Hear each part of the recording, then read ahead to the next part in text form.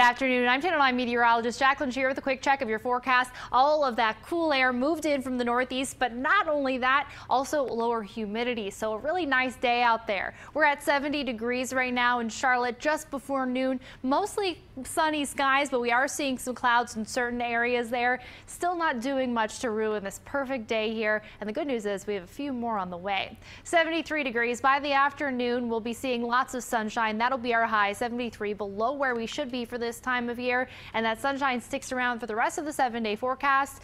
This is one of the things that we're tracking, though, one of those problem areas. The tropics still very active. At this point, Jerry will not impact the United States coast. This is where it is at 8 a.m. on Sunday. Not much of a change in intensity. Now a hurricane with 75 mile an hour winds and expected to stay within about that general range for the next few days as it approaches the coast and then makes that northerly turn. We're keeping a close eye on this and, of course, those temperatures for us. You can stay up to date right here on the WSOC TV weather app.